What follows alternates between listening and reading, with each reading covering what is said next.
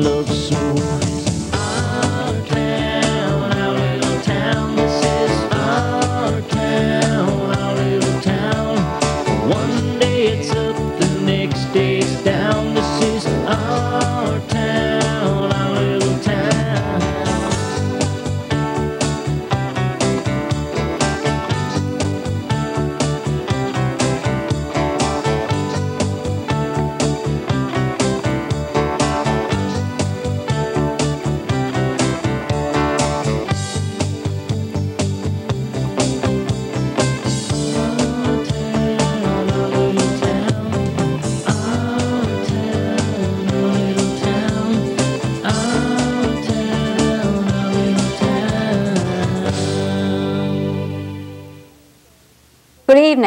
Welcome to this week in review. Tonight's stories include Breakfast with Santa, Burgeo Academy Christmas Concert, interview with Angela Randell, Burgeo Academy Awards Night. These stories plus the BBS Playbill and more coming up after this. The grade 2 3 class wish you a safe and wonderful Christmas. Christmas safety tips. When lighting up for Christmas, use only CSA approved lights. Use the proper lights for the environment. Indoor lights should not be used outdoors because they lack the weatherproof connection. Outdoor lights burn too hot and should not be used indoors. Replace immediately any bulbs that do not light because the other bulbs that are operating might overheat. If you must use ex- extension cords and wall outlets. Use only the number of connections for which the outlet is designed. Failure to do this can cause overheating. On Sunday, December the 18th, the Burgeo Fire Department and the Burnett's held their annual breakfast with Santa. When we dropped by the fire hall for the first time, there was a fine crowd. Before we left, business was picking up even more. By 10:30 a.m., the fire department was getting very busy serving their guests. From then until 1 p.m., there was a steady flow of customers. Breakfast with Santa is fast becoming one of the most popular activities for the Christmas season. Not only do you get to have breakfast with Santa, you get to see many friends that are visiting for Christmas, and the best part is you can experience Christmas through the eyes of children. The children enjoyed having Santa there while they ate breakfast. Santa greeted everyone and handed out candy canes to all the children. He had his picture taken with many of them.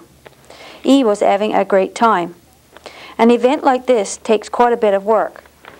The firefighters and Burnett's have breakfast with Santa down to a science. Everything runs smoothly. They are becoming very experienced with waiting on tables. The kitchen was a bustle of activity. Deputy Fire Chief Lloyd James was busy filling orders. Bud Green was busy cooking up sausages and keeping them warm. Clayt Mead and Guy Ann must have been naughty because they were doing all the dishes. Mitchell Billard was busy flipping pancakes, and Ted Anderson was making toast. Jim Hare and Bruce Green also must have been caught being naughty. They too were up to their elbows in dishes. This year on the menu was toast, bologna, sausages, pancakes, tea, coffee, milk, and juice. It was a very enjoyable breakfast, and the best part was that you could walk away from the dishes. Congratulations to the fire department and the Burnett's on another successful breakfast with Santa. On Monday night, Burgeo Academy held their annual Christmas concert. Here are a few highlights. The concert will be shown at its entirety on Tuesday, January the 3rd.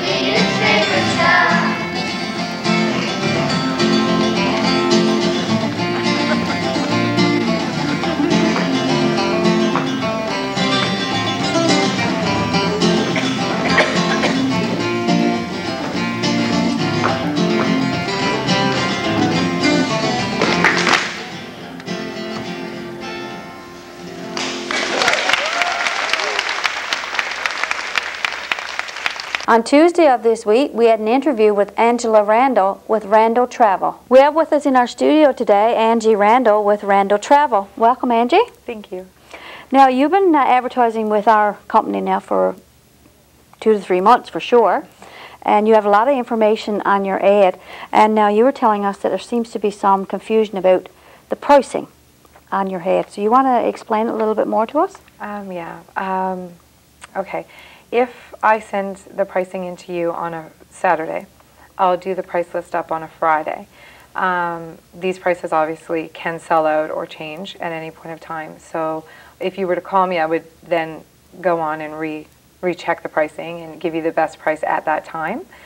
Um, I know a lot of people think that when they are calling me or, or using a travel agency of any kind, that they would pay an extra fee, but they don't. What you see on TV, on, on my ad, or what I tell you is the price now, is actually the same price that you would find yourself if you were to go online and look yourself. Okay, so there's no really no hidden cost. There's no hidden cost. Okay. No. okay. it could be confusing, I guess. It could be, yes, Okay. yeah. Now, um, of course, you're in the travel agency business, Mm-hmm. and from your perspective, why do you think it would be uh, more of benefit to travelers to use an agency rather than to book the line, the, the airline ticket online themselves? For example, if I were if I was going to go visit my children, Mm-hmm. and I was, well, I've done it. I've just booked online. Why would it be easier for me or more beneficial to me to book through you or any agency for that matter Mhm. than go online? Um, the first one is protection. Um, plain and simple, as a travel agent, I possibly book 100 tickets in a month, maybe, you know. Um, as an individual person, you may book five, one, two a year. Um, so if something was to happen or uh, you were to be snowed in, you were to have a problem, there was a flight delay, I have a better chance of getting something resolved um, faster from the airline than an individual person would. I have what's called buying power with the airline. So um, if you were to go on and book by yourself, you'd be just a standalone individual. They don't track it, they don't see it. I mean, they know you're a client, they know you're a passenger, but that's all they know. Okay. Um, they do track travel agents, and for each booking is a point, and those points, I guess, um, show the, the buying power that I have with Okay. them. Uh, let's use an example. Um, I'm booking a flight from Deer Lake to Calgary. Um, I get to Halifax, and there's a big snowstorm, and I booked the ticket myself. What kind of trouble am I in right now? You'd have to basically wait in the airport in the lines, just like everyone else, um, or call Air Canada and wait on hold, which I've done a lot of times, um, and basically find the information yourself, go through it yourself, um, pay for your own change fees, pay for your own hotel fees, pay for your own food, your own transportation, because that would be considered um, uh, a problem or delay that the airport or the airline themselves did not cause. Okay. So it's natural causes, right? Um, if you book through a travel agency, the benefit is I would do all the waiting, the holding, the legwork for you, switching you around, getting you on the next available flight, if at any cost, a minimal cost. Um, I would also, before you travel, that would be a perfect reason why you should purchase travel insurance. Um, it doesn't just protect you for luggage, it protects you for things such as weather delays. Uh, your travel insurance would then kick in and pay for you to have a hotel. They would pay for your change fees, they would pay for your food, they would pay for um, any amenities you need while you're there because your luggage would most likely be checked in if you're going from Deer Lake through. Um, they would pay for you to pick up $250 worth of things you may need, like a nightie, toothbrush, shampoo. It sounds small, but it's really expensive when you have to pay for it yourself, right? Sure. And they would pay for all of that. And that would be obviously too a very con- uh, a convenient thing for you to do if you're stuck somewhere for a day or day and two with nothing. Exactly. Um, costs for insurance now. Mhm. Would that be when you book tickets? Do you say, "Would you like insurance?" And is that that's a cost that, that the, the customer would know up front, obviously. They would know it up front. Okay. Um, it is extra on top of their airline ticket, Yes. obviously. Um, and it varies depending on age group, length of stay, um, price of your original ticket.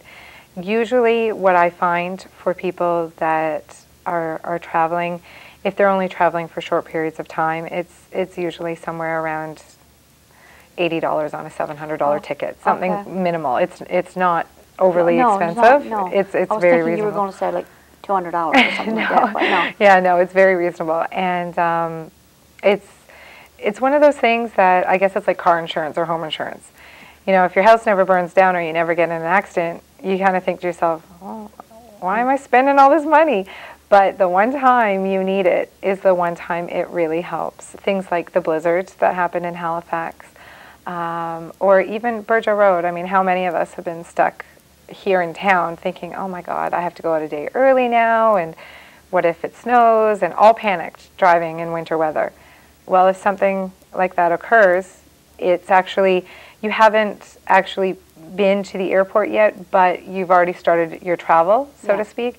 So because you're already en route and this happens, it then kicks in and protects you that way as well. Okay. Yeah. Wow. Yeah. A lot of information that people probably didn't know. No, they, it's, it's now by law as a travel agent, you have to inform people of these um, different options they have. Sure. And it, I mean, it's something I didn't know until I was in the industry, and I traveled a lot when I was a, a young child, right? And it's a lot that I didn't know until I actually did the course and I was in the industry myself. Um, it protects you even for medical reasons, you know? If you were to get sick while you were away, they will, depending on how sick you get, right? If it's a major sickness and you need an operation or something, and you want to be operated on back home here in Newfoundland, they'll fly you home on a medevac uh, flight. If they need to operate there before you travel, they'll fly someone to your bedside. Um, if someone home gets sick and they need to, you need to go home, they'll pay for a ticket for you to cancel your trip early and go home um, to be So that's all covered under your all insurance? covered under the eighty dollars that you just paid for insurance. Okay. Now that's an approximate cost, but you know, um, if you something simple like falling down and breaking your leg, um, they'll pay for uh, your Newfoundland Care Card. Um, that out- actually pays something like hundred and thirty-five dollars towards um, an ambulance if you're away. But an ambulance actually probably costs somewhere closer to $600, right, for an ambulance ride in the city. Now, if you look at the difference, it's quite a bit. If you just paid that $80 for your insurance, well, there you go, that's covered. Okay. You know, they pay for that. They pay for that extra coverage to get you to go to the hospital. And Okay. Get looked at. Now, before we uh, we started our interview, we had a little chat, and you were telling me something very interesting. Mm-hmm. Um, we have a lot of people that travel um, twice a year, I Mm-hmm. think, maybe three times a year, from this community to go to different parts of um, the mainland for seismic work. Mm-hmm. And you were telling me that if those people got together and booked as a group, Mhm. they could probably get their uh, airline tickets cheaper than what they get them now. Yeah, um, it's something that I was thinking about at the beginning, offering out, but I chose not to um, right away, just because I wasn't sure of the interest. Um, Corey, my husband, he travels for work as well, and he's with a big group of people that travel, um, not like this community. They're spread across Canada, but it, it's something similar, and it's something that um, I offer to them as well. Um, if people here in Burgeo decided, okay, they were going to Calgary and they knew that they were going somewhere usually January 5th to 10th, right? Uh, for example, then what we could do is I, as an agent representing a group, could go to Air Canada, CanJet, WestJet, and I could say, listen, we have X amount of people that travel two, three times a year, and they would like a better rate than what they see on TV. They, you know, they they're dedicated to the, this trip. It's for work reasons, and it's a benefit They have to go. Oh, they have to go, and it's a benefit to the airline, obviously, to have these people fly on their airline as opposed to another airline, right? Sure. Um, and then I would say to them, well, listen, we can't guarantee they're all going to fly on the 5th, but sometime between the 5th and the 10th, they usually fly. So can we get this group um, access to the lower fare and have that fare dedicated to this group? So anytime you call, even if the ticket is selling now at $600, you would still maybe get it at $300. You know, um, Okay. it's something that we could arrange with the airline itself. So they could go to a travel agency and arrange that. They could, if Yeah. if we did that, it would be through my travel agency. If if That's um, something that you offer. yeah, Okay. well, a- any travel agency, I guess, could offer Mm-hmm. it, but it is a lot of work and a lot of late work that goes into it. So if you if you go to a travel agent to get them to arrange this, it's solely that travel agent that you have to deal with Okay. on that point on. Okay. You can't um, have it arranged for you, but then call Somebody else. Joe's Travel. Okay. Yeah, if Randell Travel actually has it arranged, because Joe's Travel has no idea, Yeah, okay. and it's um, certain codes and restrictions that get added in. Oh, okay. Now, there was a lot of information you gave us, and a lot of uh, things that we uh, we need to be aware of when we travel. If someone watching this um, still is a little bit confused and want more information, uh, can they call you? They can call me 100%. There's no problem. If they book with me or if they don't book with me, they can call me um, anytime. I have no problem with that. Um, also, too, there was one thing I, I forgot to mention that for the town of Burgeo only, and I know some people know I do this, some people weren't aware that I do do this, I allow the, the people booking with me to use the option of paying cash for their tickets. Um, that way, then they don't have to use their credit card and stuff. At that point, there is a little bit of an extra charge. Um, it's a $30 extra charge. It's $10 because of the way I actually access the system, and it's a $20 charge because of the processing of the cash to Okay. the airline.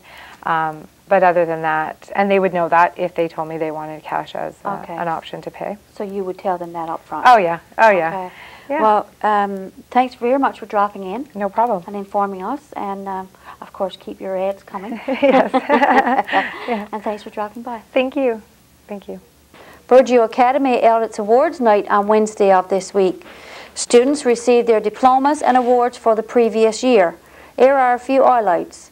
The awards night will be shown in its entirety Next, I'll call on Mr. Parsons. Now, this is a presentation of the trophies that was there to my right. Uh, This is for the highest academic achievement in grades 7 to 12. The names will be engraved on the appropriate plaque displayed on the Wall of Fame in the main corridor. For grade 7, Zachary Collier.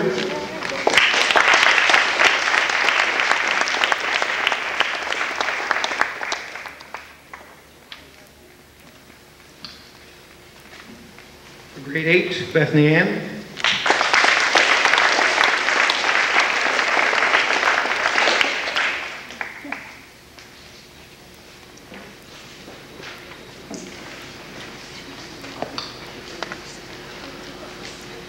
Grade 9, Shelly James.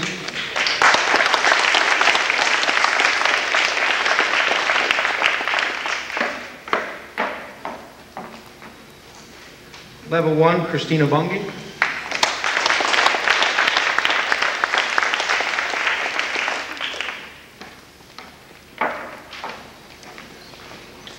2, Matthew Dominic.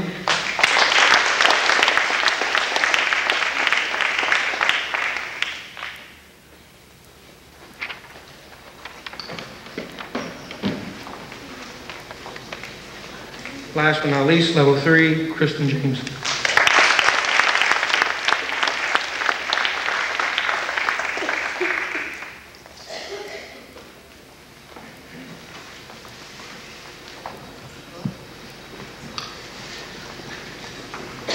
Let's give these six students a big round of applause.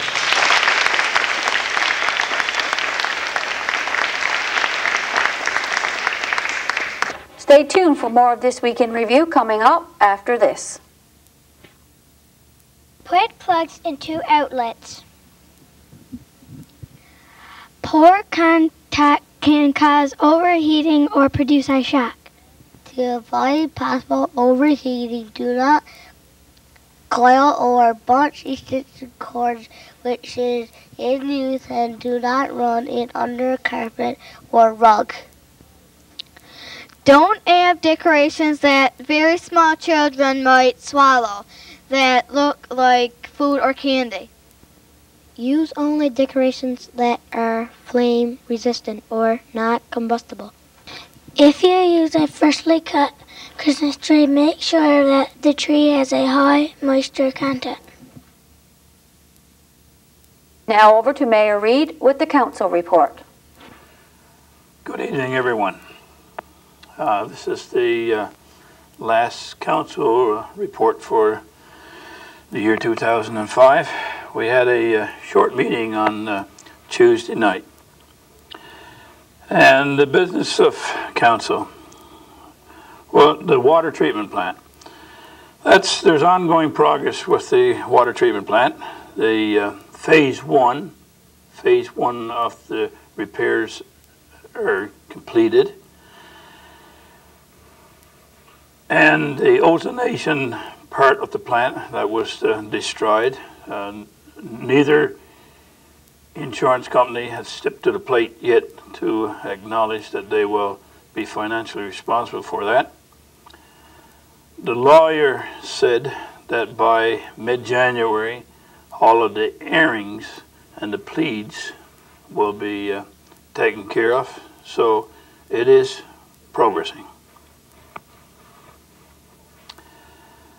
Second item is that the, um, the council gave all active firemen on our uh, volunteer fire department, we gave them all a uh, turkey for Christmas.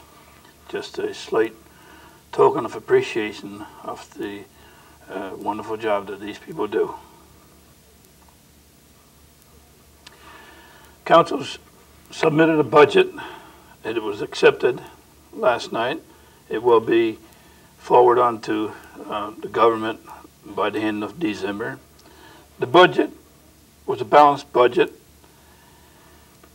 The amount was $923,110. We are in the black, I should say. We haven't spent all of our money. Uh, the town is in, uh, I guess you would call it, uh, fair shape. It, uh, there will be no tax increase uh, in 2006. And I'll repeat that, no tax increase for 2006. And it seems that we, uh, we're doing very well with our collecting of our taxes, and of course, we're doing very well spending it. It was a balanced budget. Council also applied to government to try to get a ferry terminal out at the wharf there so that the two, three ferries that come to Burgeo every week, the passengers will left somewhere to go to uh, while they're waiting for the ferry to come in. So we applied to government uh, to try to get a, a ferry terminal there. We also applied to government, government for the driver examiner to come to Burgeo at least once every two weeks, if at, a, if at all possible, during their, during their new fiscal year. We requested it before, and they said they would look at it again when they did up their new budget. Well, I would assume that they're doing up their new budget in January, so we've uh, sent out a reminder to them to try to get that driver examiner to come to Burgeo again at least once a month in the new year.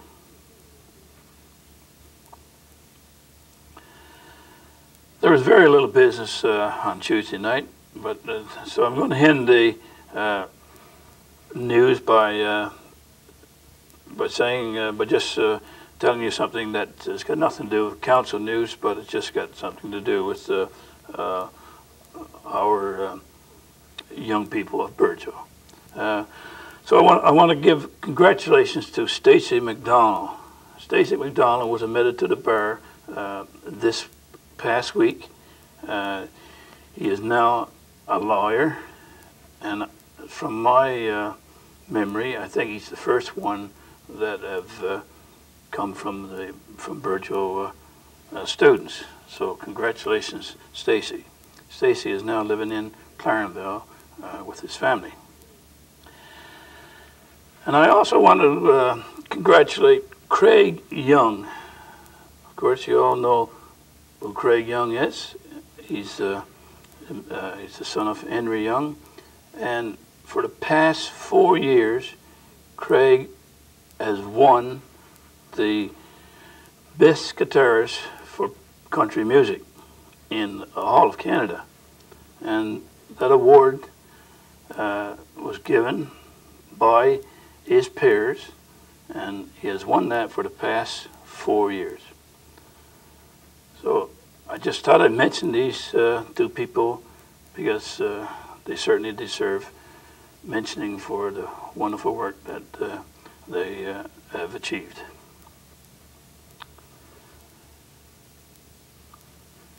So, Merry Christmas to you all and a Happy New Year. On Thursday of this week, our MHA Calvin Parsons stopped by the studio for an interview. Good day. Uh, it's a great pleasure as uh, MHA for this district, Calvin Parsons here, to uh, make a presentation at this time to uh, Chief Glenn Han of the Burgeo Fire Department and to Bruce Green. We were down to the uh, ceremonies, of course, at their uh, annual Fireman's Ball earlier, but these gentlemen, for work commitments reasons, weren't available. But this is indeed a, a great honor, and I'd like to take this opportunity to do it uh, with special thanks, of course, to the Burgeo Broadcasting System for allowing us to uh, avail of their uh, facilities to do this. This is the Firefighting Long Service Bar that's being presented to both gentlemen in recognition and appreciation of 25 years of loyal and dedicated firefighting service to the protection of life and property throughout our province. And the plaque is signed by Mr. Jack Byrne, Minister of Municipal and Provincial Affairs, and Premier Danny William. And I've been asked on behalf of government to make these presentation to these gentlemen of these certificates and the bar, which they of course will wear on their uniform in the future, signifying this 25 years of dedicated service. So gentlemen, it gives me great pleasure to present you with your bar and your certificate in recognition of this long service. Thank you very much. Bruce?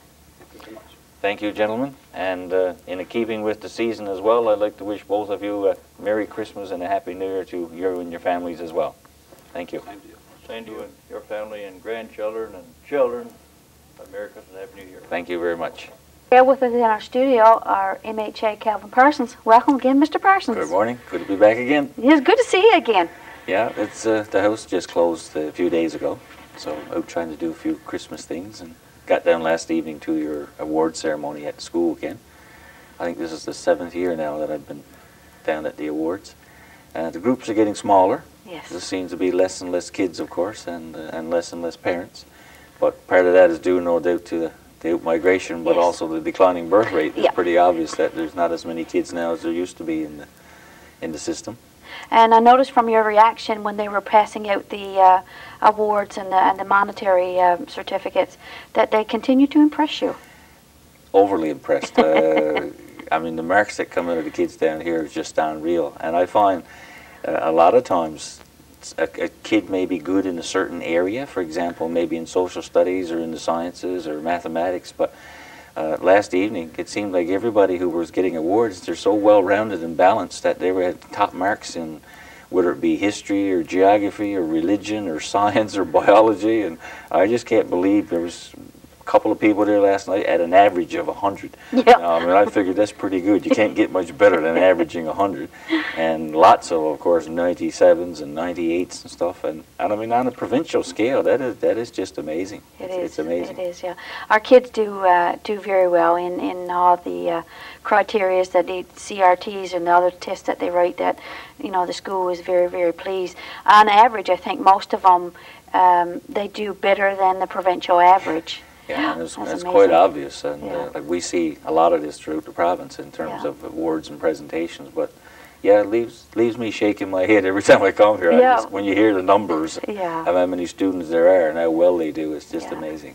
It So- says a lot for the teachers too. Uh, It certainly does, and, and the kids themselves, and, and the parents, and, and like as like working together, like you know, it, it gives our children the advantage that when they go out into the wider world, then they're more prepared than what they would be if we didn't work as hard. That's right. Yeah, And we, we were discussing earlier about the internet and stuff. Uh, yeah, Nowadays, they're out into the world before they even go out into the world because yes. they're they're online most of them now from the time they're kids, Yeah. and there's no such thing now as going away from home to experience something. They usually get all the experience you want on the internet now nowadays, Yeah. and they know what kind of world awaits them. yeah. But regardless of where you go, you still need that education. You still need that And, uh, education. yeah, It's been proven that those who get it are far better off than those who don't have it. that's exactly right. So, uh, yeah, they'll do quite well. And I was personally pleased. Uh, George Reed, Mayor Reed, mentioned last night that Burgeo had its first lawyer, which is a soft spot with me, of course, Of because course. Uh, being a lawyer myself, and, and I was the first lawyer to come out of Port aux Basques, who was born there and, and raised there, and to practice there, and have two sons do the same thing. And now last night to hear that there's a lawyer came out of Burgeo, you'd had a doctor before this. doctor before. Yeah, And it just goes to show that no matter where you're born Yeah. or where you're raised in this province, that the opportunities are there, and everybody's got equal opportunity to be whatever they want to be. And Yeah. that was I was very pleased to hear that last night. Yeah, it was it was a very it was a very uh, heartwarming story. Yeah, because especially when when you know the kids, right? Yes. You know who they Yes. are. Yeah. And uh, that's the other thing I, I noticed after seven years, the kids who were getting their awards last night. When I first saw them, they were just in grade. Some of them weren't even on the stage because they weren't even to grade seven. But uh, Yeah. but you see them come all the way up through, and they consistently do well. It doesn't seem to be just one year. They they seem to be the same students each year who are dedicated and uh, and take the top honors. Yeah, we have a great uh, we have a great school over there for sure.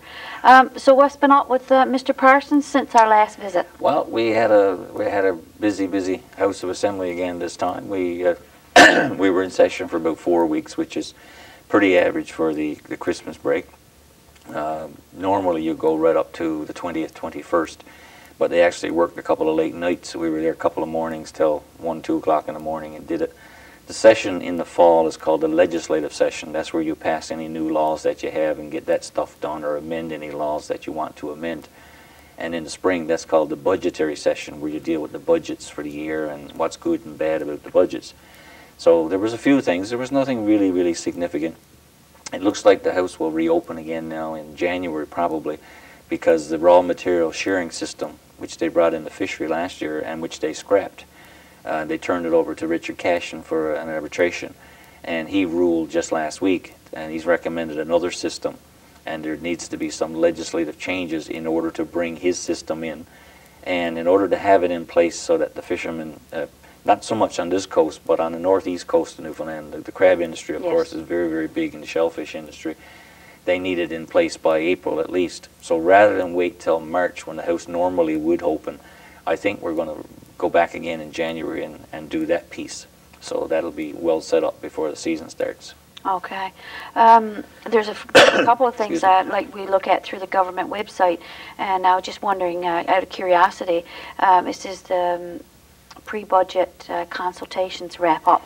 Now, like, do you have what do you uh, the opposition have in terms of that process? We can take part in the process. Normally, what, what's involved there is the Minister of Finance and his officials would go around certain areas of the province, and any communities or individuals or associations who want to make some input into the system to say, we think you ought to put some money here, or you ought not to do such and such. Uh, that gives you an opportunity so that the Minister of Finance can hear those concerns and comments and suggestions before he puts the finishing touches on his budget. It'll probably be finalized around the end of January. So he takes that time in the fall to listen to people, and any final tinkering that he has to do, that's, that's when he'll do it is in January month. And then, of course, the budget usually comes out in February or early March. And then it gets debated in the House, and that normally takes two or three months to get passed. Okay. He's probably, no doubt, they got their plan as to what the big, the big plan is going to be. So these consultations are more along the lines of, of smaller considerations that they usually know what they're going to do with most of their money. And in Newfoundland Labrador, most of the money is already pre-committed in the mm. sense that you know what it costs every year for your education, you know what it costs for social services, you know what it costs for health care, you know what it costs for your public sector workers and so on. So once you get that out of the way, there's very little in Newfoundland left to deal with. The question is now, of what we do have left, where are our priorities going to be? Is it going to be in new schools? Will it be in uh, new municipal infrastructure? Will it be in highways and so on? And that's, that's where he has to make those final decisions. Okay. The other uh, topic that seemed uh, to be getting a lot, not quite a lot, I guess, but uh, through the open line, of course, you, you, you listen to that yourself, and this is the Sunday hunting. I was just curious to know that if you had gotten any calls from uh, our district about pro, for or against the Sunday Hadn't- hunting. Hadn't heard a thing about it in two years. This, uh, in my experience, and uh, we heard about it earlier. There was people, different groups that seemed to be some were advocating for, some were advocating against. The thing seems to have died, and then all of a sudden, uh, out of the blue, we're told that a portion of the season now was going to be permit hunting. I believe after October. Uh, don't know where it came from. Don't know who was pushing the agenda. Has been done. Uh, got no particular feelings one way or the other as to whether it's good or bad. Uh, I guess you can, you know, personally, uh, I'm not a hunter anymore. I used to be, but I don't hunt myself, so I don't have any personal interest in whether it's one way or the other. But uh, if it's a happy medium for everybody, well, that that's fine, and I guess we'll see down the road if it worked or didn't work. It's like Sunday shopping. Uh, Sure. we had strong opinions one way and the other on Sunday shopping, but nowadays it doesn't seem to be much of an issue anymore. People take it for granted, and and it goes on. Um, the other uh, topic um, that somebody mentioned to me was the um, oil rebates. It seemed to be taking, uh, uh, I don't know if longer than normal or whatever, but some people, I guess, are just wondering when when that is going to kick in. Yes, it is longer than normal. The process, I believe, is flawed. We've told the Minister of Finance it's flawed. Uh, there's no reason, really. That, my understanding is there's no checks cut yet No, uh, the- to think- anybody, yeah. and they're expecting to get them now shortly. They say, but they've been telling you for the last month shortly, And this is not a first time thing where you need to be bogged down in this. They've gone through this before. All they've done basically is increase the amount that you're getting over what the program used to be by a little bit. They haven't changed the program that the, the Liberal government brought in two or three years ago. All they've done is change the amount. So it shouldn't be rocket science to figure out how to get it right and what you're looking for. The criteria haven't changed, but yet we got this bogged down in the Department of Finance. I wouldn't be surprised that part of it is due to the layoffs. Like we are in many areas of government when it comes to employees, short-staffed. So when you take a program like this that might have ran before fairly easily because you had the workers to do it, and all of a sudden you're trying to do the same thing with less workers, you run into these problems. Mm. You just can't produce the same amount of work if you don't have the people there to do it.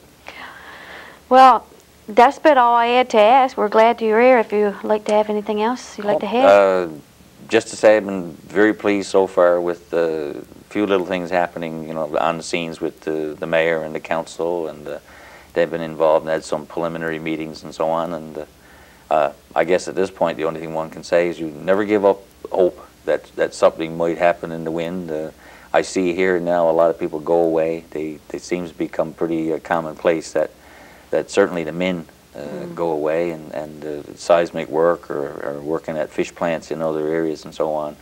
And uh, I'm sure they'd all like to be staying home and making the same amount of money. Uh, I'm not sure even if there were any kind of industry here that you could make the money that you're making in uh, in other places, particularly Western Canada.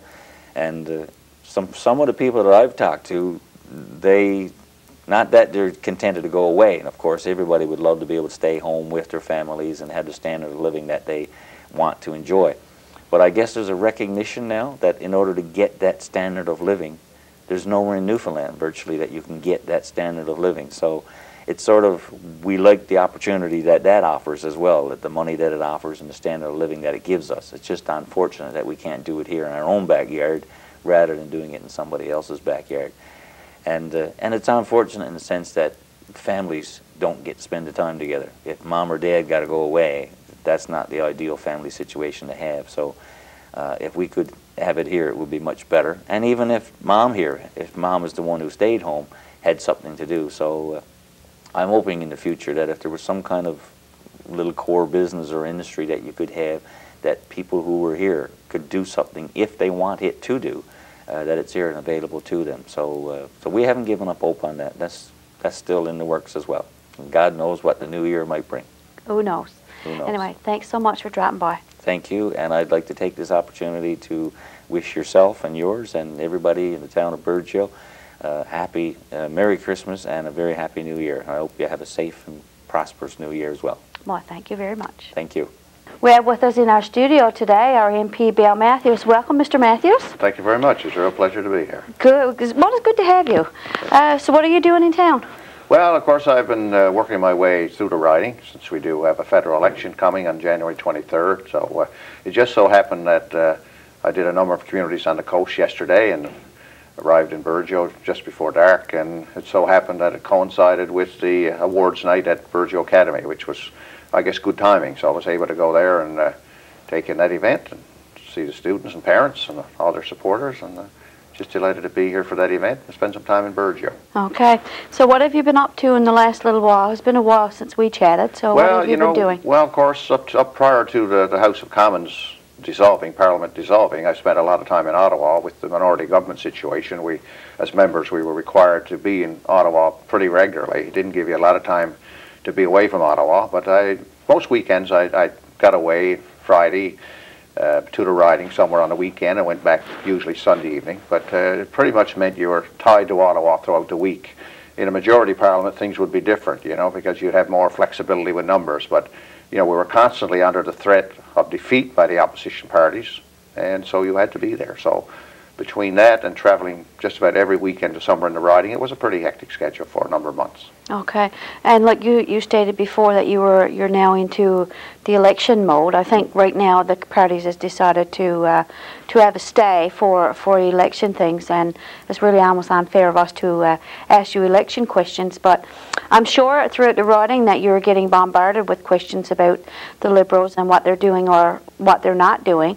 What seems to be most of the concerns um, for uh, this riding? I'm assuming along the coast is probably the fisheries.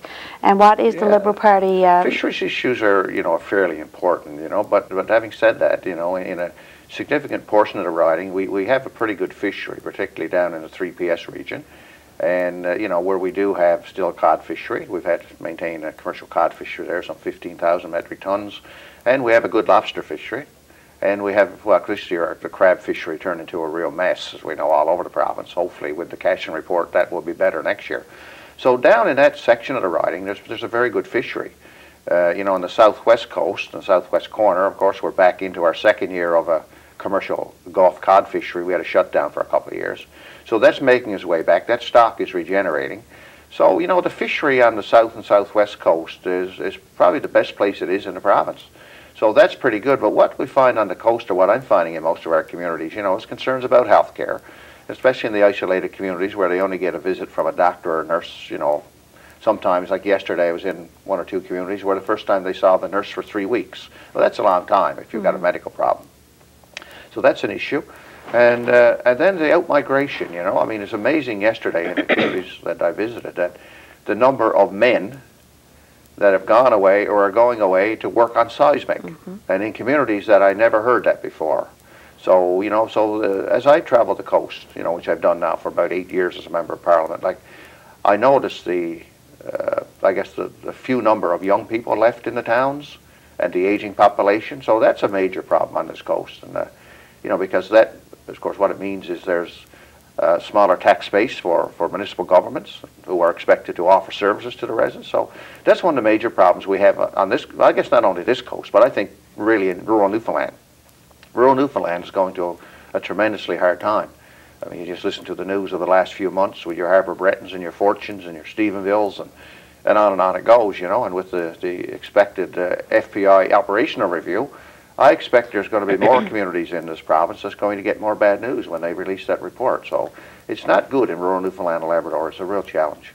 so what what uh, do you see for the Liberal Party as in helping these communities to survive and to uh, to be viable? Well, we're, you know, I, I say so many times when I'm traveling, like if it wasn't for our federal programs and our infusion of funds through, you know, what was Human Resources uh, Development Canada and now it's Services Canada, and through the Atlantic Canada Opportunities Agency, you know, I mean, we put so much money into those rural communities through those through those two particular agencies that if that wasn't there, you know, life would be a lot rougher, a lot worse in those communities. But you know what? And it's so difficult to find a core industry for a lot of our communities, like right here in Burgeo. I mean, we've been so many years trying to find that core industry for Burgeo, which we need, because from a core industry, we'll we'll spin off other small businesses and other other economic uh, opportunities. But it's finding the resource, and you know, it's been a tremendous struggle here. We're going through the same struggle right now for Harbour Breton. And my expectations are that we're headed for the same plight in fortune. And who knows, with the FPI review that's coming, you know, I'm expecting Marystown will be impacted negatively. So that's just in this riding, uh, not counting the other FPI operations in other parts of the province. So it's, it's one hectic challenge. Uh, but resource is the problem. You know, I'm still hoping that, uh, you know, we can find a solution for Burgeo. I mean, there's been some, I guess, commentary as of late about, you know, some potential with you know, looking at a South Coast strategy. I mean, I've had preliminary discussions with Premier Williams on it over the last number of months, uh, looking at trying to do something in a num- number of communities on the South Coast, you know, and uh, I'm still hopeful that if we all work together, that we might be able to, to do that. But, uh, you know, with the communities and the provincial government and the federal government, I'm hoping that we'll still be able to find a solution for a number of our communities. It won't be for every community because that's impossible. So I, I'm still hoping that somewhere in this mix, you know, there will be a solution for Burgeo and Harbour Breton.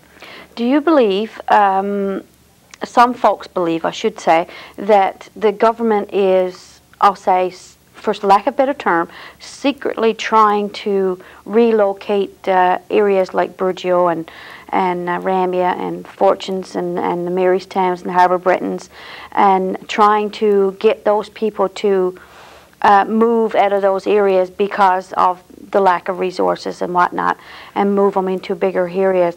Do you believe that that is so? Well, I, I hear that. You know, I hear that in my travels and in my work as a member of parliament. But you know, I, I, find it hard to believe that any government would be sort of silently deliberate about that, that happening. I mean, I can only tell you from a, a federal perspective, and as your member of parliament, that you know, I, I work with the communities and I work with the provincial government, both former and present, to try and find solutions. Uh, but the biggest problem we have in most of our communities is finding a resource to, to put people back to work. Uh, that's the constant struggle, and that's what we're still dealing with now. I mean, if we can somehow, between all levels of government, uh, develop a strategy for two or three communities on this coast, and one of them includes Burgeo, uh, you know, I, you know that that would be great, and I, you know, I, I'm still somewhat optimistic that we can do that. Uh, but you know, that's going to take uh, uh, an operator with, I guess, ingenuity, and as well with with good financial backing, because you know in order to, to go into new initiatives in, in, in fish or any other business, I mean, you, you need deep pockets. Uh, you know, governments can help, but the day of governments completely paying the bill, you know, that it usually doesn't work. If that's the requirement, that the only way you can start a business in a community is if the government totally funds it, you know, unless the operator uh, has some financial obligations and commitment to it, you know, usually it doesn't work. So I'm hoping that between us all, we can find a solution for two or three of our communities. I mean, there are things that are being talked about sort of on a preliminary basis, and I'm just hoping that in the new year we'll all be able to, to get together and hopefully work some of this out. And I'm hoping that we'll see something here in Burgeo that we can that we can call, you know, a core industry because you need that. I mean, I know a lot of your people are going away to work and coming back. Uh, you know, that's not what people desire. Some people may choose to stay at that, but certainly there's a core of people here in this, this community that are either here or going away and working and coming back that would prefer to, to work right here. So I'm hoping, you know, that we can find that. I mean, we've been at it for a long time, but but I remain optimistic. I mean, I'm not one of those who, who quit and, and, say it's over kind of thing. I, I try to keep working for a solution. Excuse me. And uh, I think it's incumbent upon all levels of government to work together at the municipal, provincial, federal levels to try and find solutions. Uh, because without that, you know, uh, what will happen over time is, is what you described earlier. I mean, you know, more and more people would leave. Population shrinks, the tax base for the municipality shrinks and gets smaller, and then you're not able to offer the services that, that people so so readily require. And what what we're finding, of course, is that, you know the people who need the services most uh, are aging, and uh, that's it's a bit of a challenge, I can tell you. As, you know, and, when you're out and about as much as I am, to out to riding, you you notice it. Um, on another note, now we've um, it seems people are feeling that they're not as able to um, contact, access your phone numbers uh, as they they should be, or they feel they should be. Um, before you leave this morning, would you be able to give us some numbers where we can, you know, easily contact you? Oh. You do have a office set up here in the Riding, I'm assuming. Oh, we have two actually. Yes. We have we have one in Stephenville and one in Marystown. And uh, we have a toll-free line that goes into Stephenville. I'm interested. I'm interested in your comment on that because I, I, I didn't. I wasn't aware of that. That people are having difficulty getting through. Yes. Uh, no, but we, what we do, uh, Parliament provides every member of Parliament with, with one toll-free line. I could have that in Ottawa, or I can have it somewhere in the province. Of course, I chose to have it in the riding. So that toll-free number goes into Stephenville. And, uh, you know, I have an, uh, assistant in Stephenville there, and uh, but I'm interested to hear what you've said about that, because I'll certainly inquire about that, because there should be no no problem. I mean, the reason for the toll-free line is that members, you know, people, members of the public can call their member of parliament at no no cost. Okay. I mean, if you call my office on the Burin Peninsula directly, well, there's a long distance charge associated with that. But the, the, the 1888 number that goes into Stephenville is toll free. Okay. So, so that's the system. Every member of parliament in Canada is provided with that service. Now, some members of parliament don't have constituency offices. They, they just have the number coming into Ottawa. I chose to have it in the riding because I thought that was the best place to have it, you know, for obvious okay. reasons. Yeah. So I do have an office in Stephenville and one in Grand Bank, the Burin oh. Peninsula. So. Are they manned, uh, you know, throughout the week? Oh yeah, I mean, yeah. I have full-time employees in both places. Okay, all yeah. right. Yeah. That's very so, interesting then. Yeah, yeah. So, before you leave, you can probably give us yes, uh, I, give I us the numbers to make sure, sure, that we do have them properly. Oh, absolutely, yeah. Recorded. I, I'm interested to hear you say that because that's something you know I, I I've always been one that, that wants the, people I represent to have access to me, and it, yes. you know, regardless of time, day or night. Yes. honest with you, I mean, it's not uncommon for me to get calls at home, you know, at one or two o'clock in the morning. You don't really appreciate them, but you get them. you know, and this business is going to happen. Uh, but no, that's the system we have. You know.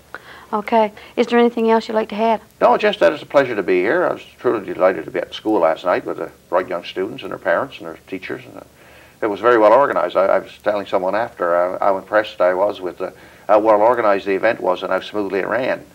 And uh, it's a real pleasure to be here, and I just want to take this opportunity to wish you and uh, all your viewers a very Merry Christmas and a prosperous and Happy New Year. Well, thanks so much for dropping by. My pleasure. On Thursday of this week, the snack program once again served breakfast to the students and staff of Burgeo Academy. What a perfect way to start the last day of school before Christmas holidays with breakfast at school. The breakfast started at 8 a.m. in the Home Ec room of Burgeo Academy and ran until 8.45. The snack program volunteers made and served the breakfast for all who attended. There was a wide variety of food to choose from so everyone could enjoy their favorites from the group. Breakfast included pancakes, French toast, fresh fruit, along with milk or juice to quench your thirst. There was a great turnout for the function and breakfast was wonderful. Thanks go out to the snack program volunteers once again for helping with another successful event. Thursday morning, the 2-3 class had a sing-along. After recess, the high school students hosted their annual Christmas talent show. Here are a few highlights from both. Both these will be shown in their entirety after the second part of this year in review on January the 8th.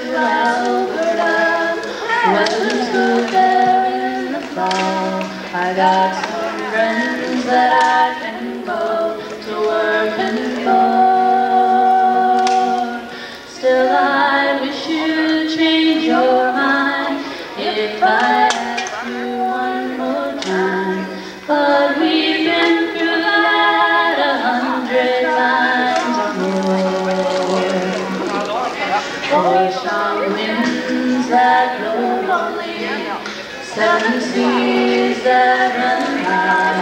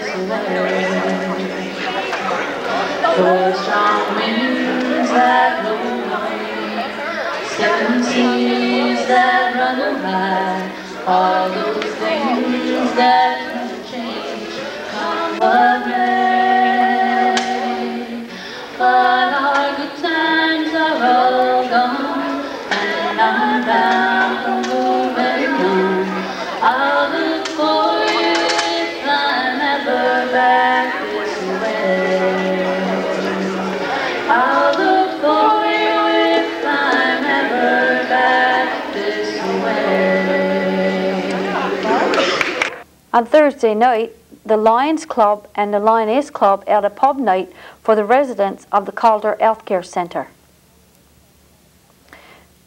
About this time each year, the Burgeo Lions and Lioness try to bring a little Christmas cheer to the residents at the Calder Healthcare Centre with a pub night. This event also helps the Lions and Lioness to live out their motto, We serve and we serve too. There were plenty of musicians on hand to provide the music. There was also plenty of snacks and sweets to enjoy, as well as refreshments. The Lions danced with the residents who were able to dance. The residents seemed to enjoy the evening, and this is only the beginning. There are many more activities planned throughout the Christmas season. He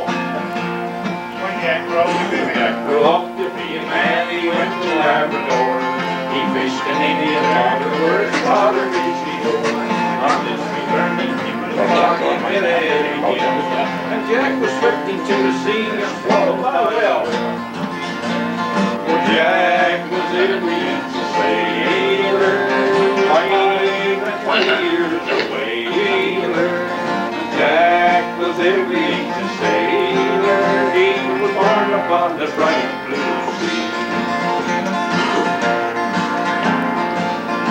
The whale went straight to Babe at 90 knots an hour. And every time he threw a set it in a shower. Nelson Jack to himself, I'll see what he's about. So he cracked the whale all the tail and turned it inside out. Jack was every inch a sailor. Five and twenty